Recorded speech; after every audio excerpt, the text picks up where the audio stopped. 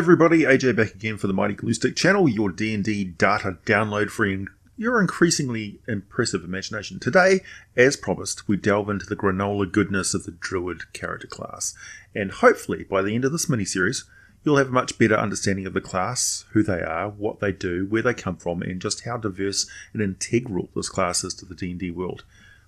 Actually, no, let's do this, let's, let's not do this as a mini-series, going by the view count, there are lots of folks who would rather I just dump all the info into one video. And I think um, I'll put some index links in the doobly doo, maybe, so you can snap to specific topics. Let's see how that works out. Also, we shall have some options on what you want me to make a video on next at the end of this video.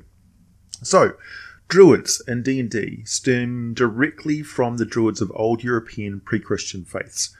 They still have a lot of the symbology and incorporate a lot of the aspects of the faith into the class. This is why we have references to certain plants and trees. We have a sidebar text mentioning some of the more important flora.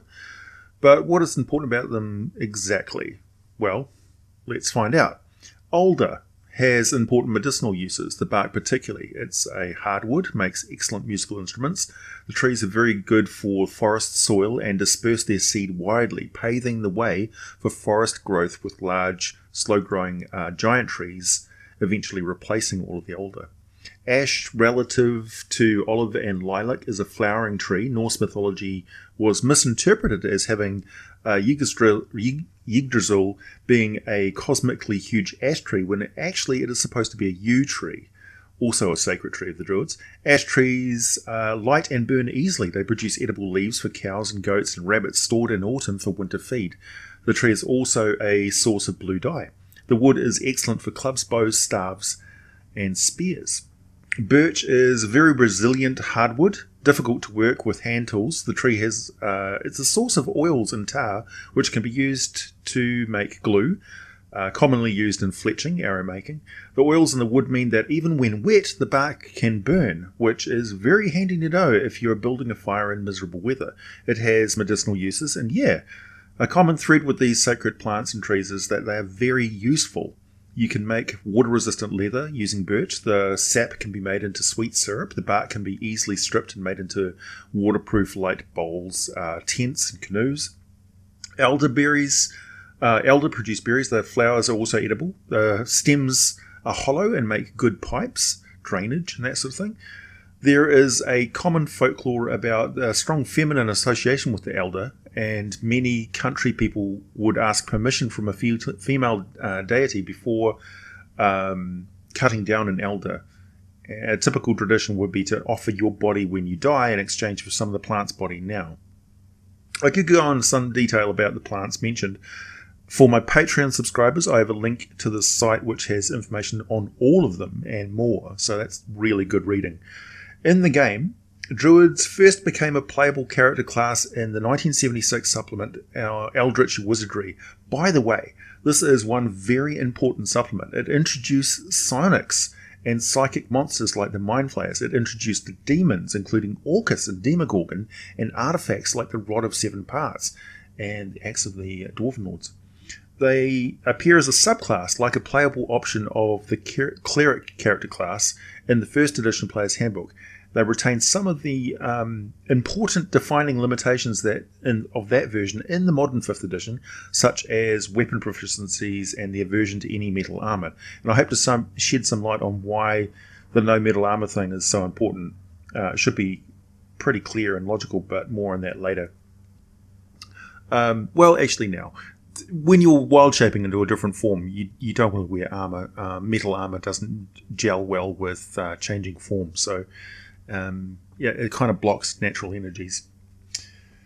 Um, energy flow is very important. Uh, anyway, druids should, could cast more spells per day than the wizard and cast them faster than a cleric. They've always made a wide array of spells available, which covered both healing, support, and offensive tasks. So, really, a jack of all trades uh, spell casting class. With that came some story based role playing restrictions, such as a strict requirement for a neutral alignment and having to attain higher levels by challenging and defeating higher ranking druids in their circles or other circles. Plus, they took on the responsibility of being a circle leader with lower level druids looking at them uh, looking to them for teaching and challenging them in due course. You know, the uh, at higher levels, the archdruid would come to gain true primal power and understanding, such that they would uh, be able to summon elementals and traverse the uh, or even dwell in the outer planes. There is mention of a race of druids in my video on planar races who dwell within the elemental chaos. If you want to check that out. As the second edition of the game developed, the druid class was still very much a cleric class. They no longer had any differentiation on their spell, spellcasting uh, capabilities aside from different spell selections. The Complete Druid's Handbook of 1994 did provide a lot of detail on Druidic tools, herbalism, the Society of Druids, and their sacred groves. And finally, in 3rd edition, Druids are their own character class, and they have a few less hard restrictions on equipment, though they basically cease to have any Druid powers when wearing metal armour until they take it off again. Druids are also available in shades of neutral, so they shades of neutral, so they can be chaotic, lawful, good, or evil leanings of neutral. They gain the ranger-like power to summon an animal companion and could throw away a prepared spell to summon an animal ally instead. The jump from 3rd edition to 3.5 sword druids go from a fixed chosen animal shape they could assume to an array of animal um, forms and at high levels even elemental forms, which is something they've kept in 5th edition. In a way.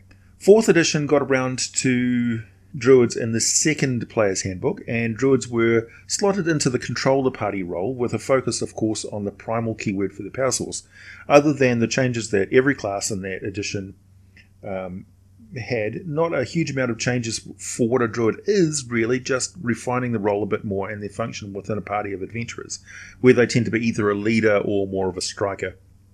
Fifth edition, finally, we have a druid as a core class in the player's handbook. And whereas the druids start out as a subclass, now they're a core class with their own subclasses. These are called circles, and we have two official circles with three more as official playtest circles, and I'll talk about each of them during this video. So, what makes a druid? First, a little bit about uh, living close to nature. Perhaps I have a good ex- uh, perspective on it thanks to the country I live in. It's a relatively young nation, New Zealand. People are still settling, settling wilderness areas at this very moment. A lot of the country is pristine nature. You can spend a whole day on some of the beaches and never see another person. When my ancestors got here, they had only the tools and supplies they could carry into the forest, and it was backbreaking work building a settlement where nobody nobody had settled before, not even the local iwi.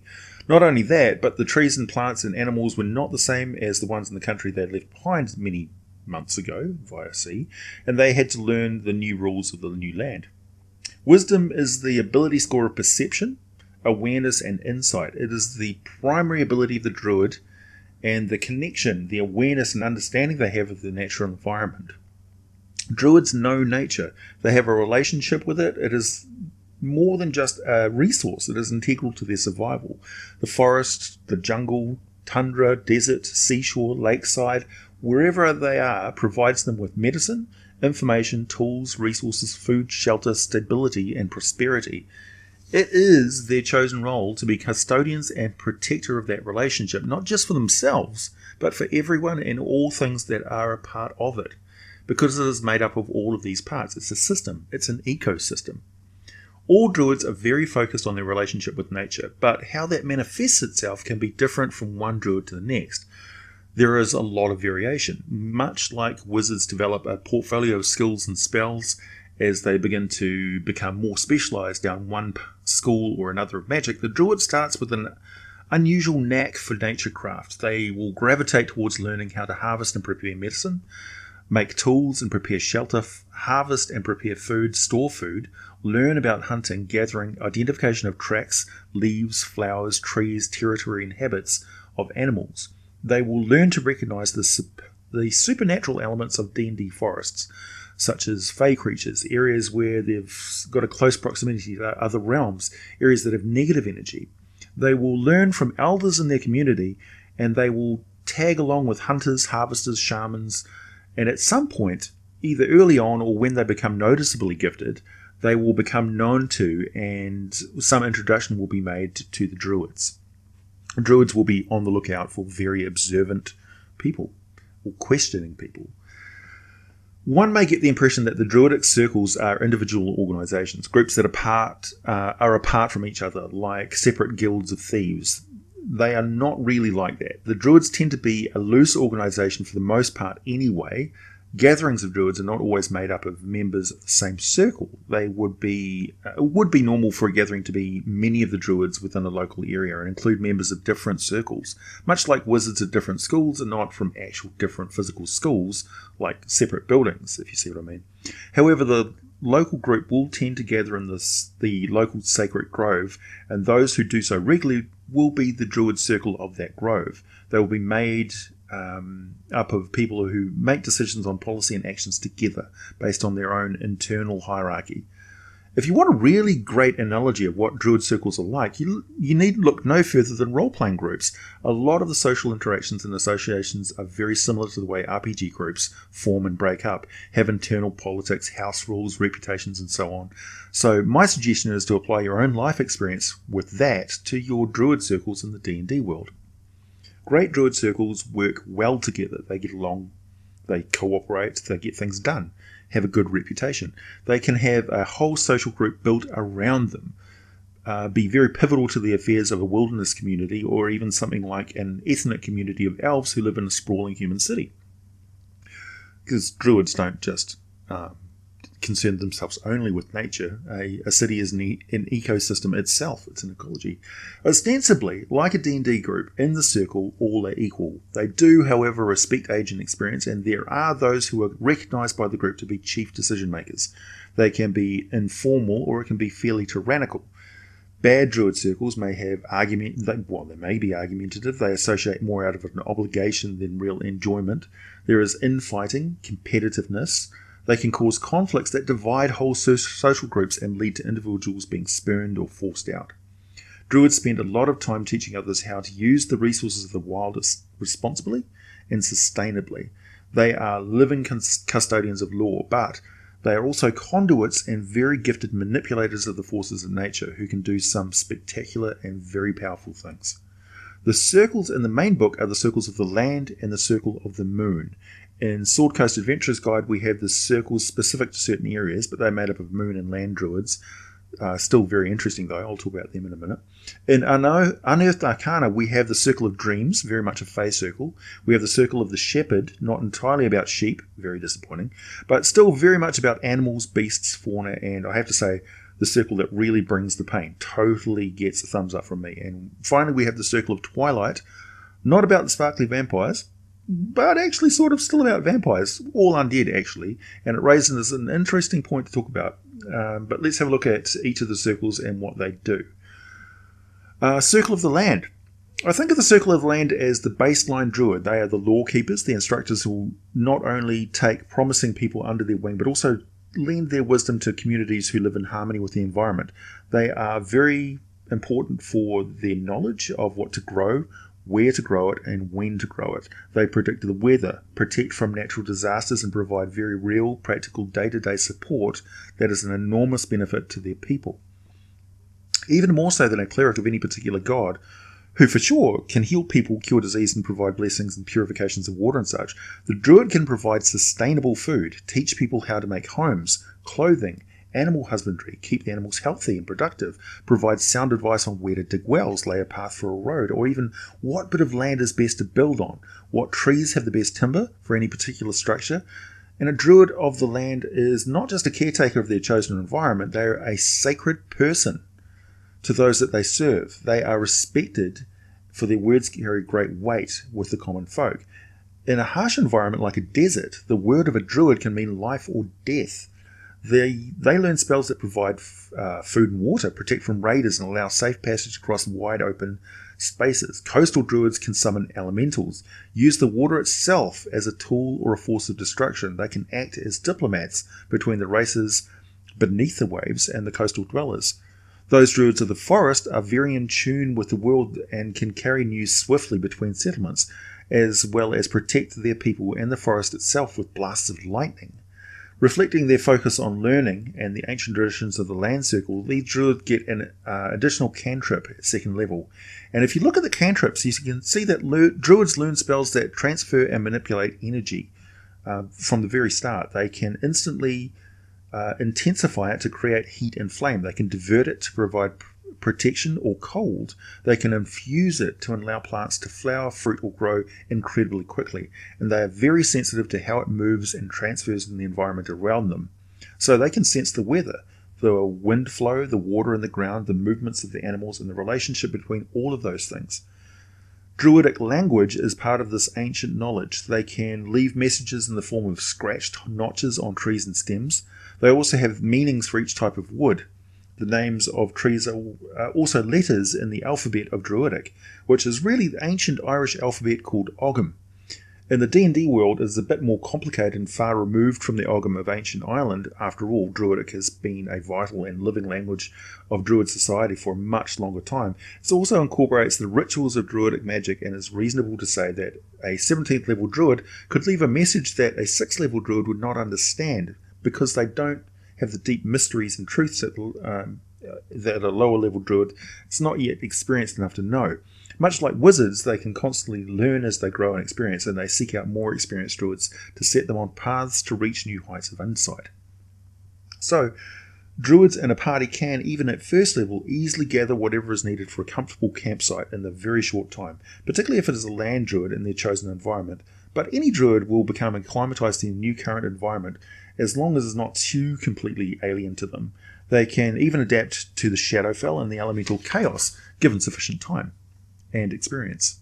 Of course, whatever environment a druid is in, with some time spent observing the native animals, they can study, attune with, and assume the form of a native creature, which makes adaptation a whole lot easier. Also, using wild shape allows the druid to move very easily and quickly, also mostly safely across the world. They are beyond the concerns of national borders. They have locations and networks that are established long before any of the current nations were. In the Forgotten Realms, the great upheavals that have changed the very geography of the land and sea is of great import to the Druids. So it has been a time of great activity and urgent action, saving endangered animals, relocating communities, and mapping the new state of the world of Toril.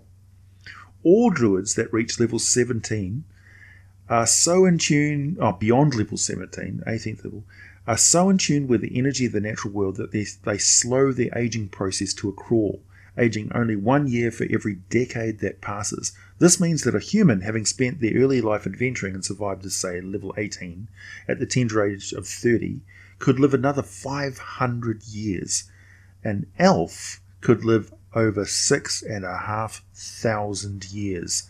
This means that there may well be elves alive on Toril that lived through the Sixth Crown War, the beginning of the Age of Humanity, the liberation of the Duergar from the Mind Flayers, the founding and the fall of the dwarven realm of Delzoun, the entire history of the Netheril Empire, including the year of Sundered Webs, where Karsus cast the spell Karsus' Avatar, the only level 12 spell ever cast by a mortal, which allowed him to temporarily steal the power of the goddess Mystryl and cause incredible destruction.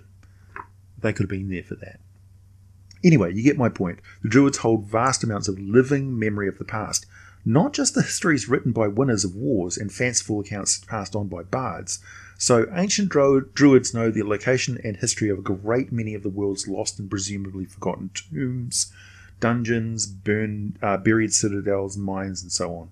This makes them of natural interest to researchers of ancient lore and adventurers on the hunt for ancient treasures, or remedies for risen natural uh, terrors of the past, that have returned to plague the present. And of course, druids seek out heroes in such times of crisis to gift them with tools to fight such evils, as well as keep watch on sites of ancient evil.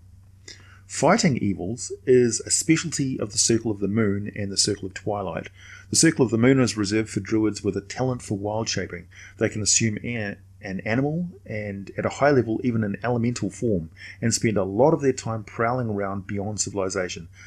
These are the hunters of badness, the protectors of the natural world, the patrollers of sleeping evils, and the first warning system of the druids. When a druid of the moon circle con- contracts, uh, contacts another druid of any circle and issues a war- warning or a call to action, this message is never dismissed or taken lightly. For dungeon masters, this may be a very good limited use story element for your druid character to hook them into a side quest or begin the adventure. Druids of the moon gather at night for three nights of the full moon. Um, they are the time that uh, that's the time they convene in ancient groves and circles of standing stones to discuss current events occurring over a, a wide, uh, very wide area. By the way, side note, uh, the groves of a wizard circle are not just standing stones; they may actually be specifically planted trees.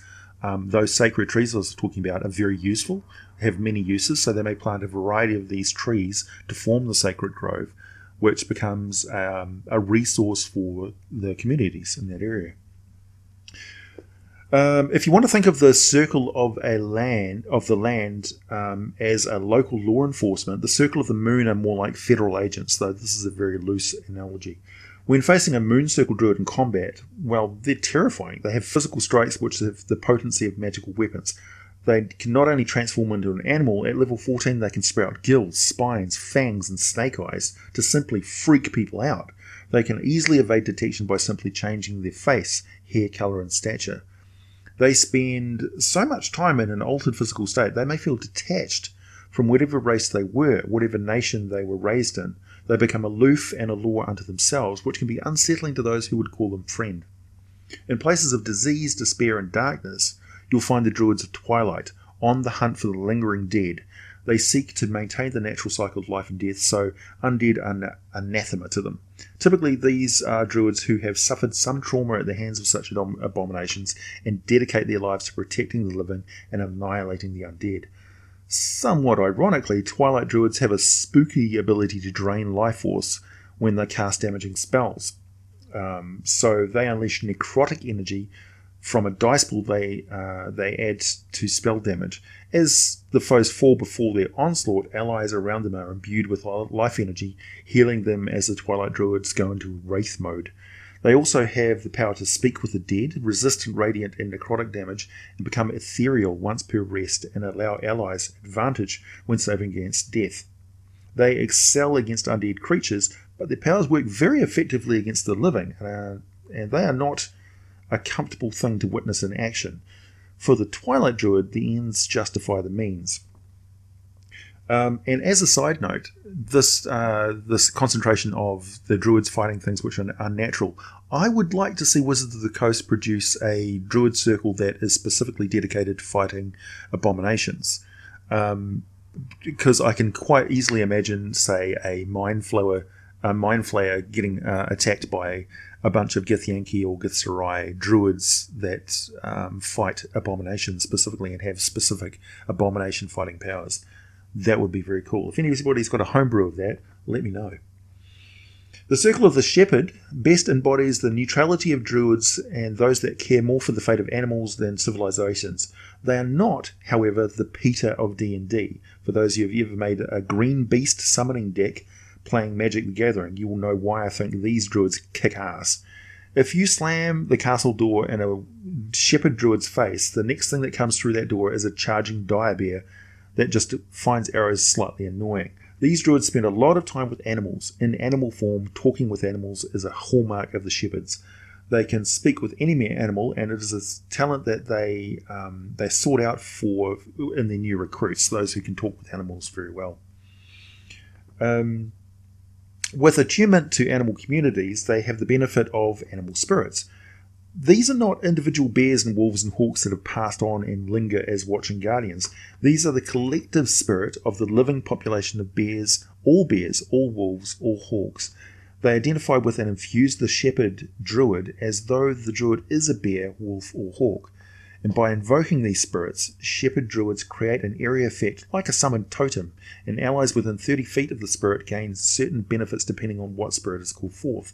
And the shepherds can do this for a minute once per rest. Also, groups of shepherds can call forth multiple spirits over the same area. Now, combine this with their ability to summon the strongest animals, and then stack bolstering spirits on top of them, and yeah, shepherd druids can be devastating directors of mayhem. They also have the benefit at high level when they fall um, in battle that they will be protected by animals who will stand guard over them when they're down. Last, we have the Circle of Dreams, the friends of the little people, the fae and fairy folk. I have a character, a forest gnome, who is a druid of the circle. First, from a game mechanics perspective, they are your best healer druids. They are also the um, they have the balm of the summer court, which is represented by a pool of six-sided dice that can be used to heal others, and also increase their movement speed at the same time by five feet per die. This means a 10th level Dream Druid can increase the speed of an ally by 50 feet for a full minute. Can you imagine an elven barbarian in the party charging around, crackling with glitter, covering 95 feet per round? Yeah, that's happening. The Dream Druid regains these dice when they have a long rest. Uh, they also attain the Fey power to conceal campsites from distant observers while at the same time increasing the camper's vigilance. They also gain the mastery of hidden paths, allowing them to basically misty step Misty Step like an Eladrin, teleporting up to 30 feet as their movement action, and then finally, beyond level 13th, uh, they can attain the Purifying Light. This allows them to cast healing spells on others, which also act as dispel magic spells, casting their healing spells level um, of dispel magic. So whatever level of healing spell it is, is also the level of dispel magic that's cast on that, that target, in one fell swoop. They can also uh, use this combo on three targets per long rest. They can reverse whammy three allies in one swoop with this power, which is pretty cool. Time to finish up. Just a quick mention of the Druid circles, groves, groups, networks of note at large in the Forgotten Realms. The Circle of Swords operates in and around the Neverwinter Wood. Uh, they do not act react favourably to goblinoids and orcs, anyone going in there to loot ruins, or anyone interested in harvesting the living trees of timber uh, for timber. The Emerald Enclave has been the name of an association of druid groups of many circles that operate in and around the Vilhon Reach in the far north to protect the civilized people along the savage frontier. Uh, founded over a thousand years ago, it involves rangers, druids, barbarians, homesteaders, and bards. They're actually a widespread organization that has gotten involved in a lot of world events over that time, so their influence is felt widely across the whole continent of Faerun you can recognize a member of the emerald uh, by the emerald green cloth that they include as part of their clothing. The Harpers have a working relationship with the Druids, of course. Sometimes it's very amicable, sometimes really not. The Harpers get along okay when they don't ignore the Druids' sound advice or stern warnings, but there have been incidents where Harpers caused the Druids no end of problems, and Druid circles don't easily forget. Finally, the Moonshae Isles have a sect of druids who are very focused on the land as a living goddess. They venerate her at these moonwell pools that have mystical healing properties for those who care for the land, but may poison those who despoil the land. Druids in the Forgotten Realms, I should mention, more so than clerics, venerate a pantheon of gods. They respect the good and the bad in nature, so they also venerate gods that are commonly seen as evil, evil gods. But this is um, this old faith is pretty much like the old religion of the Game of Thrones. People may give gifts to the uh, of the harvest to shrines dedicated to Chauntea, the goddess of agriculture, farmers, gardeners, and summer. Eldath, uh, non-violent goddess of rivers and waterfalls. Mielikki, goddess of forests, autumn, forest creatures, many ranges and fae. Silvanus, god of nature, patron of the Druids, Malar, god of the hunt, savage beasts, tooth and claw, commonly uh, regarded as an evil god, Auril, cruel goddess of cold winter, Umberlee, goddess of oceans, currents, waves, sea winds, drowning, Talos, ga- uh, god of storms, destruction, rebellion, conflagrations, earthquakes, and vortices. So the Druids give thanks and acknowledge all of these eight gods. You can find their names and alternate names or symbols left on many sacred stones or places where their god's presence is strongly felt by the Druids, and they leave these markers of significance there so they can stop and give their respects. Okay, I hope that provided some fresh perspective perspective on the Druids, uh, informed your use and roleplay of them, inspired you to include them in your campaign world, sparked these those creative juices. This video took me about two days to research and put together, and I learned a lot about this class I didn't know before, so thank you for your request for me to cover the player character class. Back to some more dragons in the interlude, but I'd like to hear from you what player class uh, you would like me to cover next. Would it be Ranger, Bard, Monk, Rogue, Fighter, Barbarian, Cleric, Warlock, Sorcerer, Paladin? Let me know. Also, next playable race to cover is the Dragonborn, thanks to many requests. But I've been inspired to talk about the Firbolg, of course, thanks to all this focus on druids, so expect a vid on them soon. soon. Thanks as always for listening, everyone. I'll catch you again soon. Additional links and info available uh, once again to the Patreon subscribers. If you like this video, please express yourself with a thumbs up and please share this video with your friends and your circle of gaming. Catch you later, everyone.